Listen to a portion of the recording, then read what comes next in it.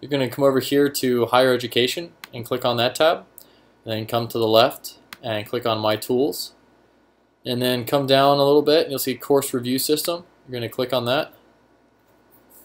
And it's going to load up for you. And once it comes over here, you can go over here to the left and click on My Course Reviews and click on Open Course Reviews. And then you should see Bio 102 if you were in my course chair for this single example. If you're not, then you can just look in here to see whatever thing is open. And then click on View.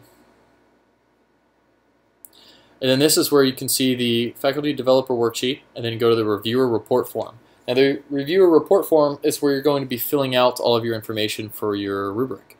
So you can click on edit here in the middle and then it's going to bring up the rubric where you can choose whether something is met or not met and then you can give back on annotations and your feedback as to whether something is not met and why it wasn't.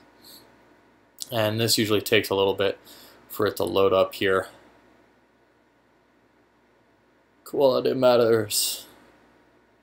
Has a slow load time. It's still loading. This is not very good quality. Oh man. There we are.